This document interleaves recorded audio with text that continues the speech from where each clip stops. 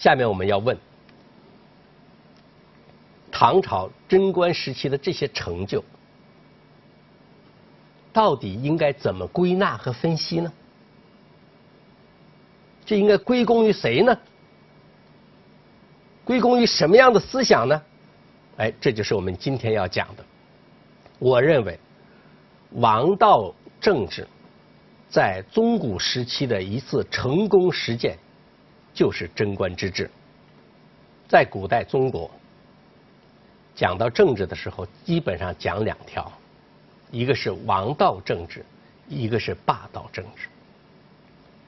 为什么说贞观时期的政治实践？是一个王道政治的实践呢？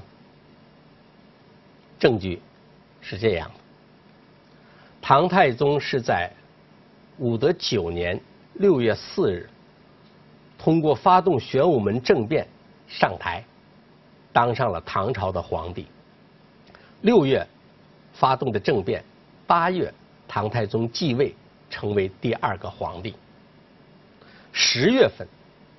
朝廷有一次讨论，就是他当了皇帝两个月以后，朝廷有一次重大讨论，我管这叫贞观定策，一次涉及到要不要统治好，怎样才能实现天下大治的这样一次讨论。最初呢，唐太宗跟魏征商量，跟魏征讨论，天下乱了这么久，你看魏晋南北朝时。南北分裂，隋朝三十八年又灭亡了，唐朝费了很大的力气，终于统一了。那么未来的中国到底能不能治理好啊？唐太宗有点疑问。魏征说：“这没有疑问，只要君主想治理好，天下就能够治理好。”哎，怎么能够治理好呢？唐太宗就说。哪一个皇帝不想把天下治理好呢？谁想把天下治理坏呢？那为什么还是很多人治理不好呢？魏征强调，这是魏征回答唐太宗的问题，是因为君主政策不对头。隋炀帝也不是不想治理好天下，因为政策不对头，所以最后失败了，他自己也灭亡了，是吧？身亡为天下笑，很正常。那到底应该怎么做呢？哎。魏征劝唐太宗应该实行王道政治。唐太宗还没说话，旁边一个大臣叫封德仪跳出来表示反对。封德仪说什么呢？现在中国能维持就不错了，要治理好根本不可能。为什么治理好不可能呢？冯德一有个说法。冯德一说：现在人心不古。老百姓心思坏了。过去尧舜禹时代，人民多朴素啊，是吧？让他干什么他就干什么，所以尧舜禹时代取得成功，统治的成功。现在不行了，人心越来越败坏，根本没办法治理，能维持就不错了。这是封德仪的观点，中书令封德仪，魏征。再站起来反驳。魏征说：“如果说尧舜禹时代的百姓是百姓，今天的百姓已经不是那个时候的百姓，而是人心日益变坏的百姓，那么我们满街看到的不应该再是人了，应该都是鬼魅了。你想啊，变化了好几千年，这人日一天一天坏下去，那不就坏的不是人样了吗？如果说那样的话，那真的没法统治了，但实际上不是。魏征说：“人民自古就是人民，他从来就是这样子。为那么为什么有的朝廷受到反对，有的朝廷受到支持呢？”魏征说：“不在人民，而在朝廷。朝廷制定了正确的路线、方针政策，老百姓拥护，这就成了。你的路线、方针政策是错误的，老百姓反对，那也是正常的呀。”所以关键不在百姓，而在朝廷。唐太宗好像有点觉悟，有点感觉。那问魏征：“你说会统治多久就能好呢？”魏征说：“如果圣人统治的话，那也就是三五年肯定见效，肯定见效。这个讨论呢，其实是上上下下都受到震动的。虽然我们主要阐发的是魏征的观点，但那个时候势力最大的是封德仪。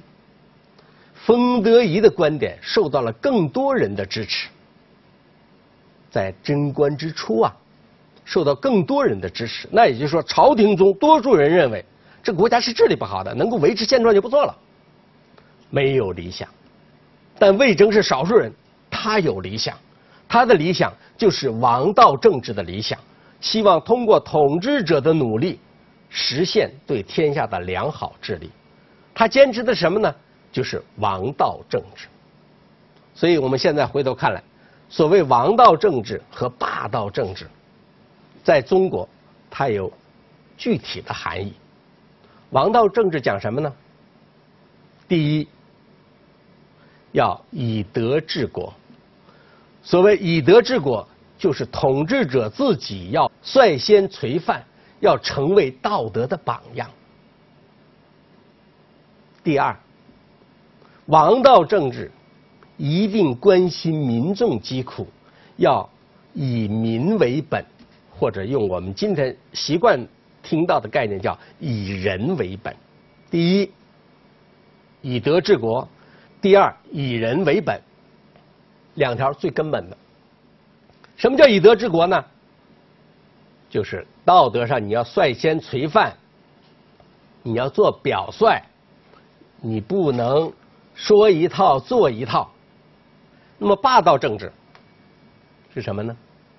霸道政治强调的是以利服人，跟王道政治的以理服人。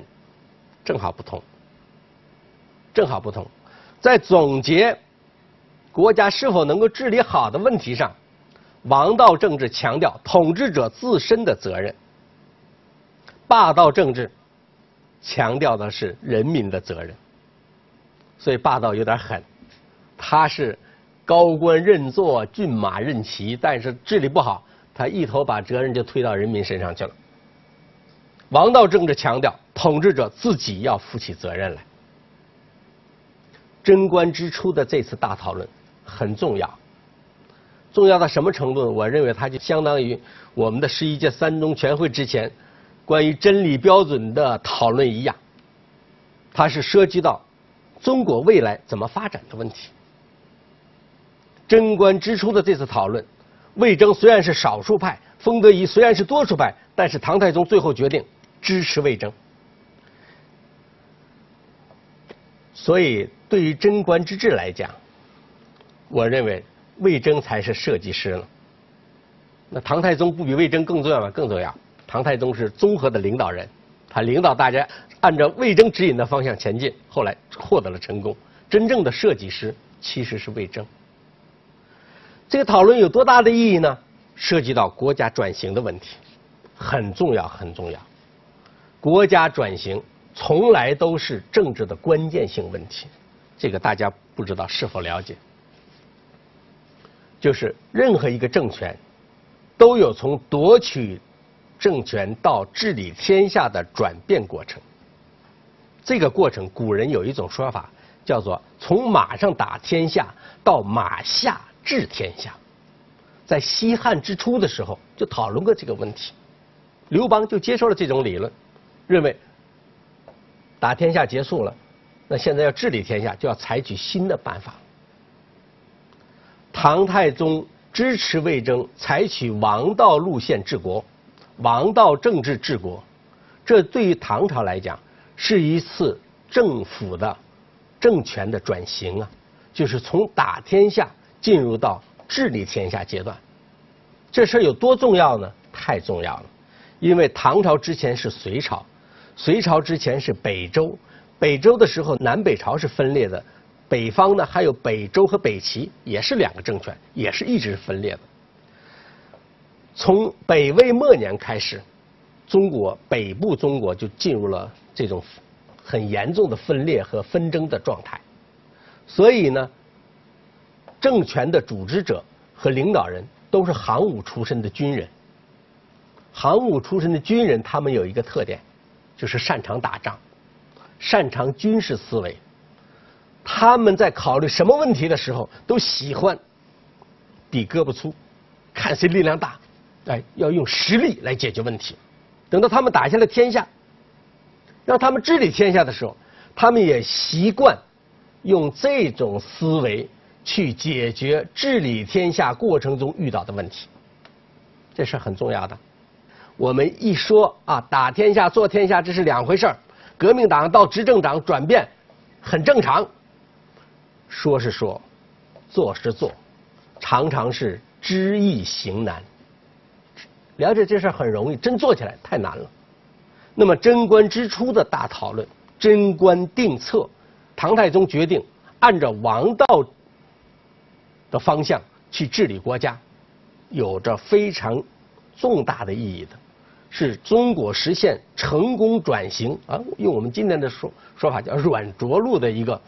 最重要的标志。那么王道政治成不成功呢？很成功。到贞观四年的时候，经过几年的改革、改制、努力，加上老天也很照顾，风调雨顺，一个农业大国，连续几年的丰收，国力就增长上来了。正是因为唐朝自身的实力增长了。使得唐朝的国际地位有了显著的提高，唐太宗就有了天可汗的尊号啊，这是有连带关系的。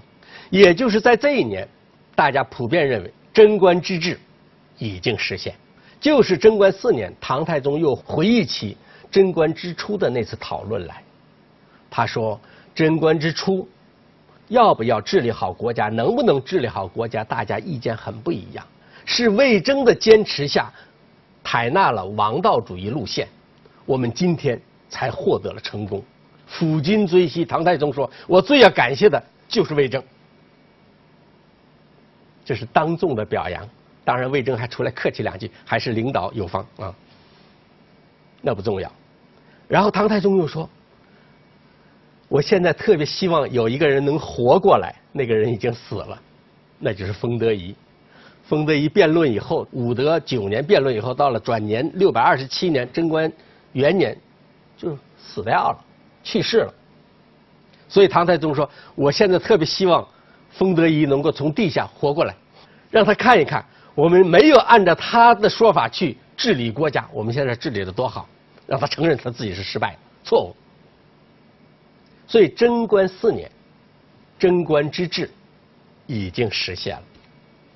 贞观四年还有一个标志，那就是犯罪率普遍降低。那一年，全国犯死刑罪的人二十九个，只有二十九个人。史书说，刑法己制不用，就是己制错刑。虽然有了刑法，有了法律，但是快都用不着了，因为人们的道德觉悟。社会的治安水平都有了太显著的提高，贞观之治已经实现。王道路线也好，王道政治也好，对贞观之治起到的作用真的是如此这般的真切吗？到底我们应该怎么看王道政治跟贞观之治的关系呢？好。我认为有两条很重要。第一条，成功的经验是以人为本。什么叫以人为本呢？我们今天也是一个时髦的话，我们今天常说以人为本，换位思考，领导人应该想想老百姓怎么想，那就叫以人为本。这是今天的想法。实际上。以人为本是中国最古老的一种政治信条，是政治信条。从哪说起呢？最初以人为本的说法叫做什么呀？叫民为邦本，邦是国家的意思，老百姓是国家的根本。这哪说的话呢？就是。儒家最古老的一本经典《尚书》里面讲的话：“民为邦本。”到春秋时代，孔子的时候，孔子讲老百姓很重要，重要到什么程度呢？有一次跟子路讨论，说如果让夫子治理国家，什么事情是最重要的呢？啊，让孔子你来治理国家，你觉得什么是最重要的呢？孔子讲：逐食、逐兵、民信三条，足够的粮食，足够的武装。和人民的信任。子路问：“迫不得已而去其一，去掉哪一条呢？”孔子说：“去兵。即使没有足够的武装，也要有足够的粮食和人民的信任。”再问：“再迫不得已而去其一，去哪一条呢？”孔子略一思索：“去食。宁可没有。”足够的粮食也要保证人民的信任，因为民不信则国不立。人民的信任是你国家赖以存在的根本保证。民重要吧？为什么说民为邦本呢？哎，孔子有孔子的申述是吧？到了孟子时代，讲的就更清楚了。到了战国，孟子说什么？大家都耳熟能详是吧？说。在国家的政治生活中，民为贵，社稷次之，君为轻。后来被概括成民贵君轻思想。想一想，在任何一个国家里，它的政治可能都有三个最主要的方面：一定要有老百姓的，然后有个国家主体，是吧？再有一个国家的统治者，民、社稷和君主。这不是三者的关系吗？这三者是一种什么样的关系呢？老百姓最重要，其次是国家和国家利益，最不重要的这三者之间啊，最不重要的是君主。所以，任何一个国家、任何一个时代，孟子的这个说法都可以成为我们去衡量、观察、思考一个国家的一个标准。看看这个国家的政策，看看这个国家的法律和制度。它是不是民为贵，社稷次之，君为轻？如果是这样的，这个国家肯定治理的很好；如果不是这样的，这个国家肯定会乱套，是不是？所以谁最重要呢？老百姓最重要。孟子的这个说法影响很大的，这成为古代中国。民本主义最重要的一种表述，这种表述其实换一种话题说，它就是王道政治的一种说法。孟子在讲政治思想的时候，讲过很多方面的问题，是不是？包括要重视民生。你说民为贵，光说一说那没有意义的。重要的是要有制度保障啊。所以孟子设计了一套制度，叫仁政。仁政是以什么为基础啊？是民生的设计为基础，要多少土地，然后几口人家，要什么样的轻徭薄赋，最后，哎，老百姓可以过上比较幸福的生活，其实可以食肉矣。年纪大的人甚至能吃上肉了，在孟子时代那就是很理想了。这一套思想，以儒家为代表的王道政治的思想。成为中国古代最主要的一个治国思想。有人认为，儒家说的这些东西都过于理想化，不好实现。但是我以为，贞观之治就是儒家王道政治的一次成功实践。为什么呢？我们现在来看一看唐太宗的言行，就知道他这套说法是有根据的。他的根据。就是从儒家这套王道思想中来的。唐太宗说过什么话呢？大家在中学教科书里面就看到过，说“君者周也，民者随也。水者载舟，水者覆舟。”说君主啊和人民的关系就像船和水的关系一样，水者载舟，水者覆舟。如果你的政策对头，这水呢就可以覆舟，是吧？载着你舟，想去哪儿就去哪儿。如果你的政策不对头，这水啊就可以船打翻。所以呢，这是君主和人民的关系是一种辩证的关系，他可以支持你，也可以反对你。这个话听起来总是有点味道，有点特别的味道。虽然这话也不是唐太宗发明的，这是来自荀子的说法，对不对？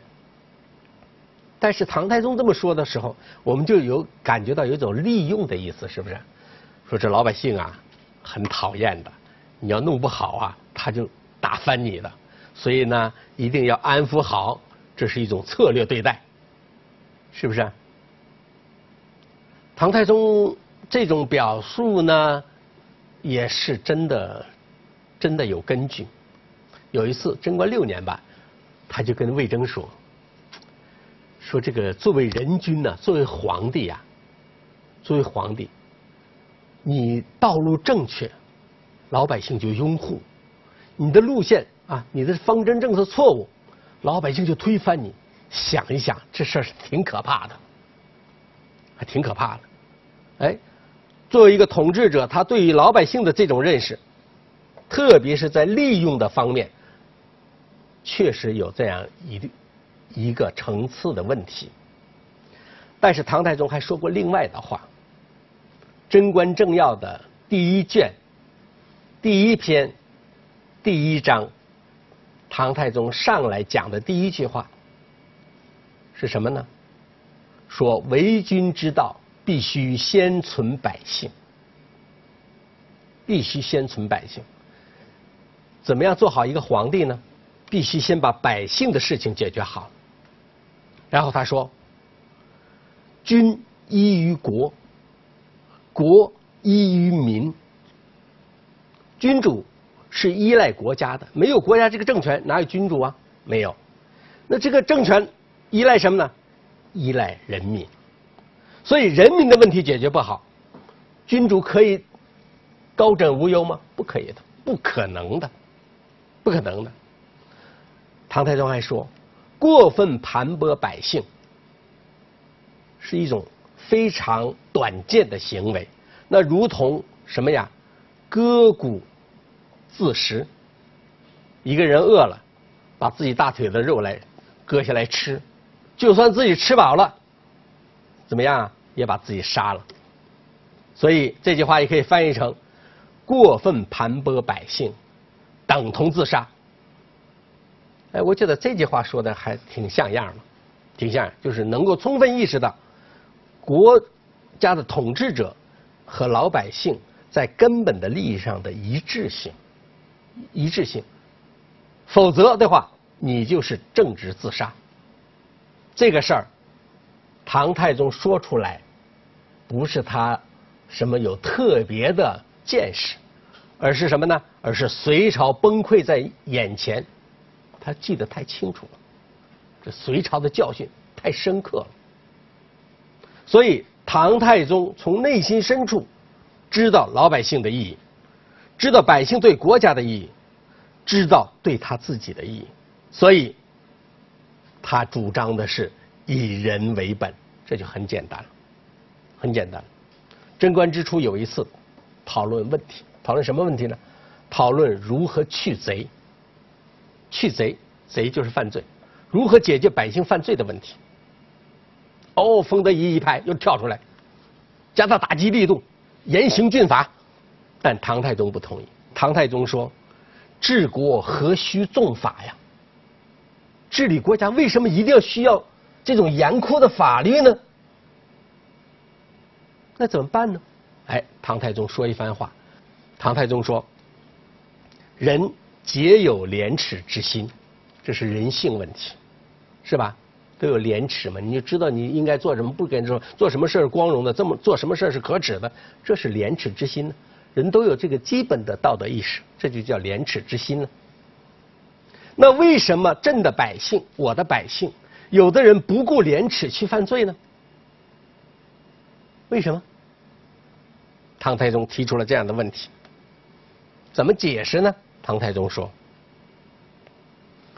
老百姓不能安于生活，一定是第一，赋税过重。”第二，贪官太多，所以他们正常的生活不能保证，衣食之忧，切肤之痛，最后没有办法，只好不顾廉耻去犯罪，以解决自己的生活问题。我怎么去解决犯罪问题呢？怎么如何去贼呢？唐太宗说：“从朕开始，从我这开始解决犯罪问题。怎么解决呢？”唐太宗采取了一系列办法，我认为都是所谓以人为本的一种办法。所谓以人为本，别忘了啊，以人为本就是以民为本，就是重视老百姓，那叫以民为本，以人为本。怎么做呢？以人为本是一个好的口号，是一个令人感兴趣的口号。但是如果不落到实处，没有制度保障，任何美丽的口号都是谎言，都是美丽的谎言而已。所以唐太宗不是仅仅说一下，他还要落到实处，要认真的去做。他做了哪些事情呢？咱们大家会不会知道一点？有些事情呢，至今我们都是很感兴趣的话，比如说，唐太宗很节约，一个皇帝能花费多少呢？不一定要节约，因为皇帝主要是要率先垂范做模，起模范带头作用，所以唐太宗是一个节约的皇帝。他的皇后长孙皇后那是个节约的皇后，那个时候丝绸比较贵。长孙皇后经常穿的就是布衣服，布衣。然后这个人家身边的佣人很多呀，宫女多得很。长孙皇后用的人很少，用的很很少，叫做呃足就可以了，就是一般的能用就完了，不会追求什么奢侈啊什么什么那那一套。其中有一件事大家知道的，就是释放宫女。是吧？三千宫女放出宫，为什么要释放宫女？释放宫女能说明什么问题？很简单的，因为皇帝嘛，生活要讲排场，是吧？啊，这个动不动这个前呼后拥的就感到威风。比如说给皇帝送一壶茶，那一个人送去就可以了，不行，他来十个人送一壶茶，送两个馒头去八个人，那诸如此类的，就是这样，讲究排场。但是其实宫女在宫中的生活是很悲惨的，年轻的时候还能出点力，打扫卫生啊，缝缝补补啊，干点活。年纪一大干不动了，只好在宫里等死，很惨的。我们这个看到唐才唐朝出土的墓志，其中有那个宫女墓志，宫女墓志不知道为什么总会说姓氏名谁不知道，家住哪里不知道。这个宫女啊，死了都不知道她的姓名是谁。有的宫女这个级别还很高，我们见过最高的二品宫人，那应该是皇帝的嫔妃呀。甚至也不写姓名，那可能是有避讳的问题，还是有什么问题。总之那是帮很可怜的人。皇帝上为了追求个人生活的那么一点点的虚荣，就让这些人熬尽一生。不应该的呀，所以唐太宗上台伊始就开始释放宫女，一放放了好几批，最后说放了好几千人，可见后宫存了多少人呢？是吧？一放就光放走的就三千多人。唐太宗对此认识还挺清楚的，为什么释放宫女呢？一减轻政府的财政负担，第二随人性，因为宫女的生活是非人性的，哎，第三呢？放出宫以后，可以去结婚、生子、过正常人的生活，哎，那就随了人性。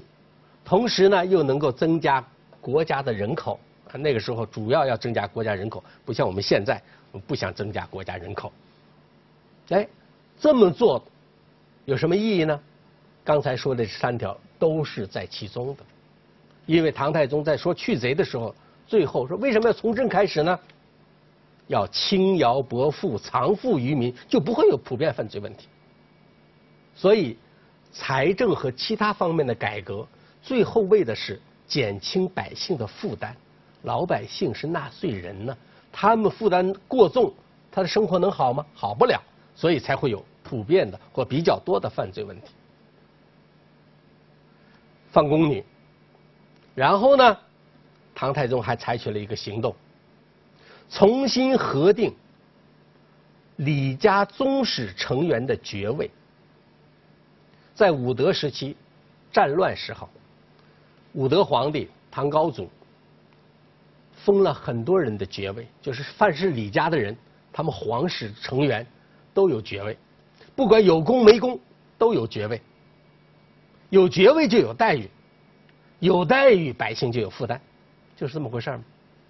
所以唐太宗上台以后，重新核定他们家的爵位问题，确实有功劳的那个爵位和他的功劳相称的可以保留爵位，不相称的降低，不行取消。为的是什么？减轻百姓负担。我们经常说。一人得道，鸡犬升天。一个人当皇帝了，那整个家族跟着享福。唐太宗这种做法，其实也没问题，也没问题。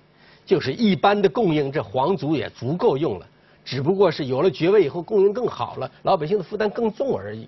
唐太宗为了减轻百姓负担，所以才降低皇室成员的爵位问题。仅仅这些够吗？不够。贞观元年。在唐太宗的支持下，房玄龄、杜如晦手下两个最重要的大臣，他们俩密切配合，精简国家机构，减少国家官员。贞观元年，唐朝中央政府的官员进行了减员，最后剩下多少人呢？有两种说法，《贞观政要》记载六百四十人，《资治通鉴》说七百人，就算是七百人。知道吗？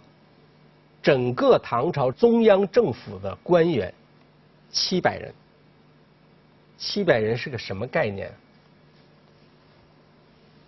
你们自己回去算吧。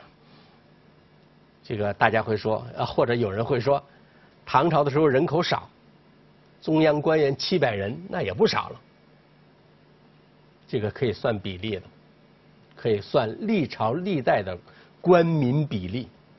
中央官员七百人，贞观时期大概全国人口是六千万，六千万，用这个比例，大家就可以算任何时代看看官是多了还是少了。总之呢，唐太宗时候的七百个政府官员，中央政府官员不包括地方的，现在已经变成了一个神话。好多人说这个数字不正确、不准确。不准确，一定是有问题的。其实不该有问题。我们现在还有一本书叫《唐六典》，《唐六典》是记载唐玄宗时期的官员数量的啊。从中从中可以看到，唐玄宗开元二十七年那个时候，唐朝中央政府的官员数量八百人，八百人只增加了一百，那那个前边七百人其实是可信的。这个人数是很少的，跟历朝历代比起来，都很少。为什么要减少官员的数量呢？唐太宗一方面说，官员在精不在多，所以多不一定就管用，这是第一方面。第二方面，还是为了减轻百姓负担。有那么多官员，老百姓就得纳税养活他呀，对不对？第三个方面，唐太宗时期就是贞观元年。到贞观二年完成的一项工作，合并地方州县，把地方的政府组织也进行了合并，目标还是一个，减少官员的人数，减轻百姓的负担，可以吧？通过这一系列的改革，加上风调雨顺。这个轻徭薄赋的目标呢，就渐渐的实现了。所以贞观四年，贞观之治，可以说已经得到了实现，已经得到了实现。从这个意义上说，贞观之治是以人为本政治路线或者民本主义政治路线的一次成功实践。我们回到原来的主题说，这是王道主义的一次实践，一次胜利。以人为本就这么多内容吗？就是这么讲就叫以人为本了吗？绝不仅仅是这么多。